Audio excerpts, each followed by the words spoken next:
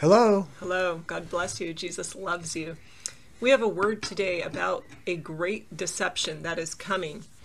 On June 13, the Lord had told us that there was a great deception coming, and we released that word to you. We will put a link somehow to this video so that they're connected somehow.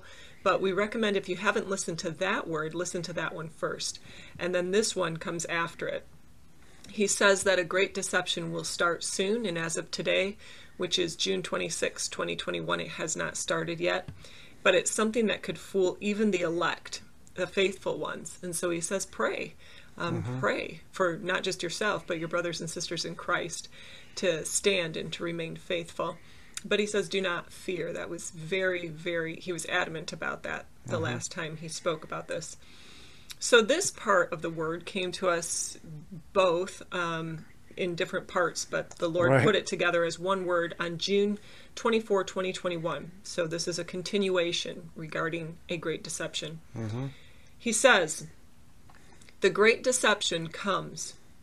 It comes as a feather blown in the wind, not as a hammer that strikes a blow. Behold, it ramps up slowly, but in its wake is wailing and cursing because this new sickness is a true pandemic. Hmm. A sickness enhanced by man. And even as man again tries to intervene and mitigate the effect, he is deceived again and only makes it worse.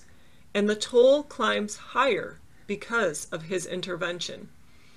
The inherent evil in all of this, from the start to the finish, shall not have its desired effect, however.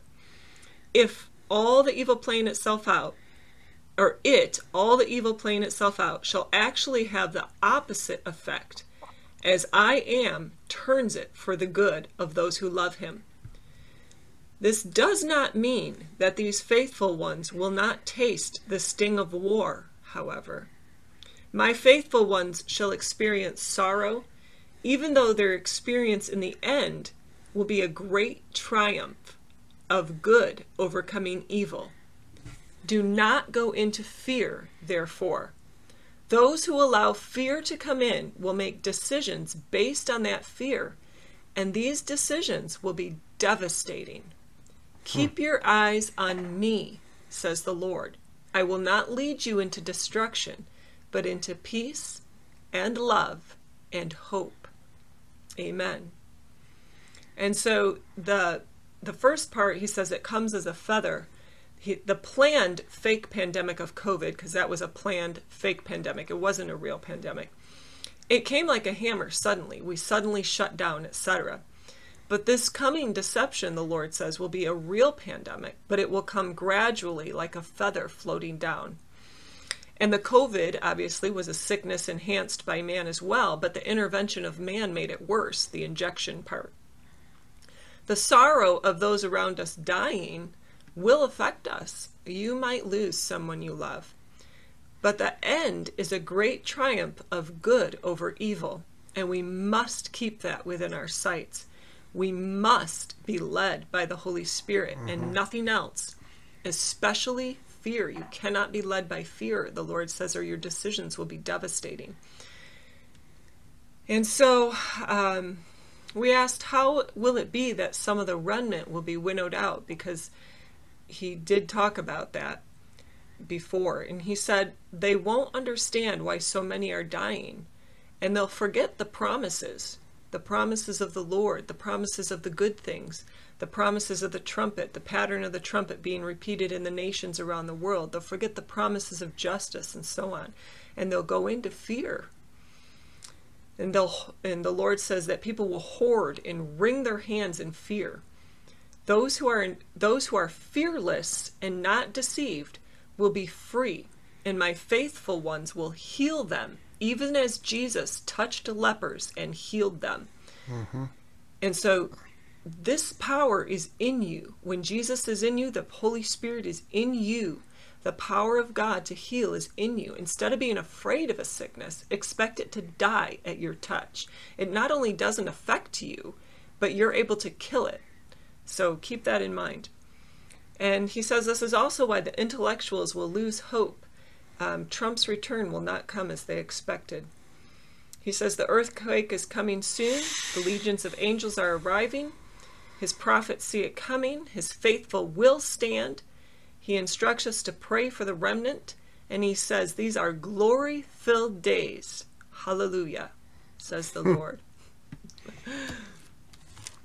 And then I wanted to share too, and just interrupt me if you're hearing something from the Lord. No, go ahead. Um, but I was asking him a little bit this morning eh, about this because it just doesn't sound fun. and um, but but Father says that his people, his people are known for having love and not having fear. They'll be known for their love. The mark of the beast is a mark of fear, and the mark of the Lord is love. And so, therefore, there has to be things that people are afraid of for his people to stand out as different. And he brought me to First Peter. He said, read through that. And there were a couple of things that he highlighted. One was uh, chapter 1.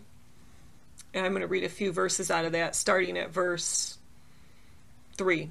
Blessed be the God and Father of our Lord Jesus Christ, who according to his abundant mercy has begotten us again to a living hope through the resurrection of Jesus Christ from the dead, to an inheritance incorruptible and undefiled, and that that does not fade away, reserved in heaven for you, who are kept by the power of God through faith hmm. for salvation, ready to be revealed in the last time.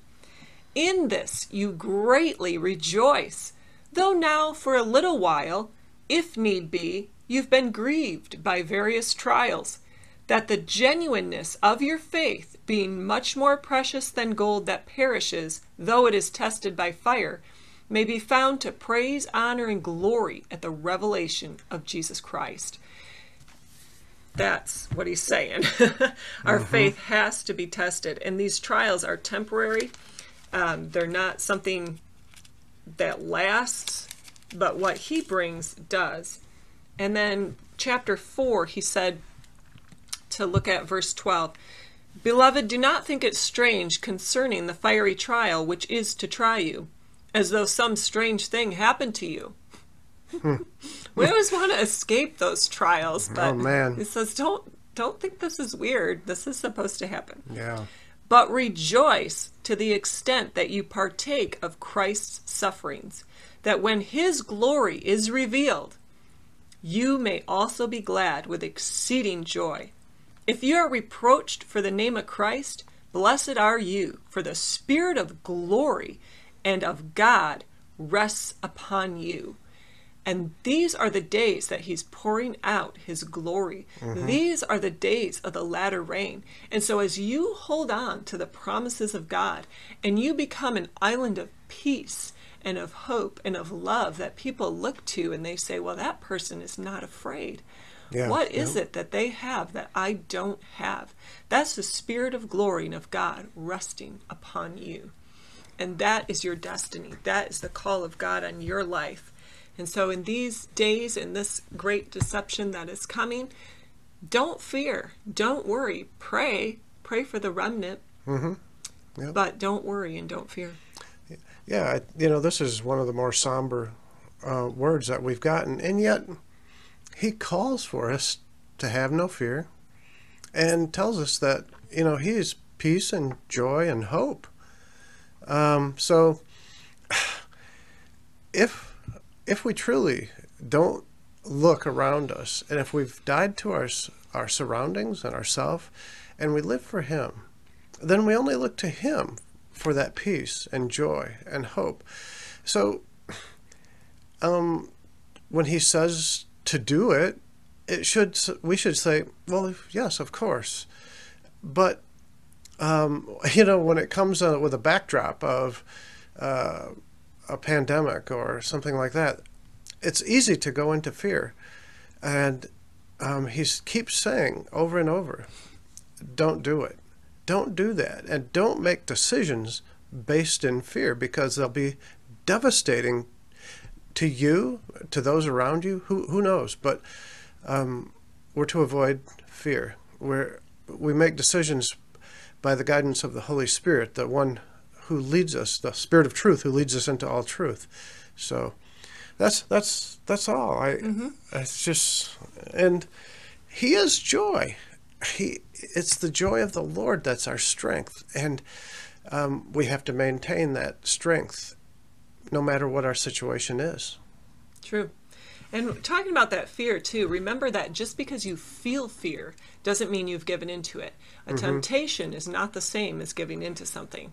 So you might be tempted to go mm-hmm. into fear, just don't do it. It's a choice. Just like forgiveness, everything else, it's by faith. You decide, I'm not going to be afraid. In fact, Yeah. remember that our job is not only to just endure something, it's to take ground. That's right. So determine if the devil's trying to get you in fear, you're going to take ground instead. How about I go heal a bunch of people or whatever? Mm-hmm. So Yep. that that's that's God's message to you.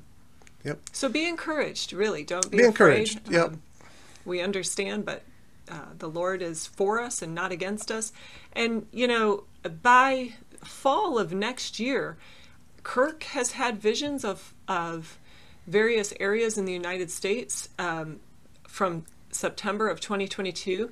I know uh, I heard Manuel Johnson also say um, he had had a vision, um, in I think it was 2022 as well. I think and so. none of this stuff was going on. So I I doubt that it's going i'm not giving you a timeline because i haven't heard specifically Yeah. but i doubt that this is still happening then so Mm-hmm. it doesn't seem like it's something that drags on super long Yeah. Yep. but yeah yeah. Just have to endure a little longer. endure and take ground That's right.